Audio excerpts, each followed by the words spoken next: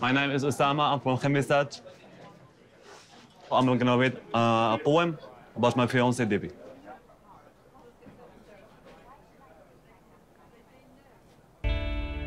I'm really rather surprised, to be honest with you.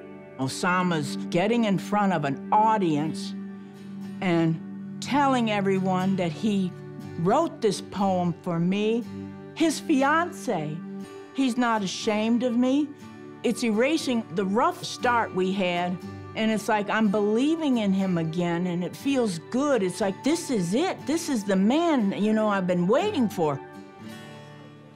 The name of poems is I Think of You.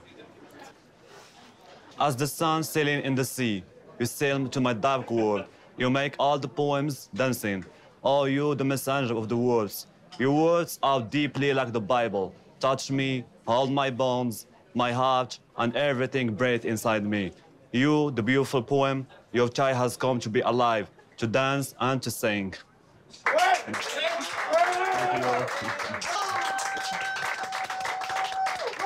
Thank you, Oussama. Thank you so much. I appreciate that. That was very touching. I'm so surprised. I'm so surprised. I never do something like this before. Oh, But you're born for it. thank you. This makes me believe again in people. Though I read it good. You read it beautiful, and I feel almost kind of weak, like I've had a shot of cognac or something after listening to that. And it makes me feel feel very special. I'm a lizard king. I can't do anything. You got that right, honey. I'm so nervous that I will read poetry front lots of people in public because I never like, you know, I never used to this or even think about this. But as you are with me, the missing part, I can do it.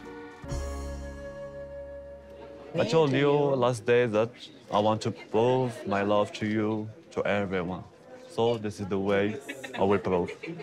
I feel more hopeful about our future together when I heard that, and you claimed me in front of all these people and strangers. Because my love is true. From now, it will be only actions.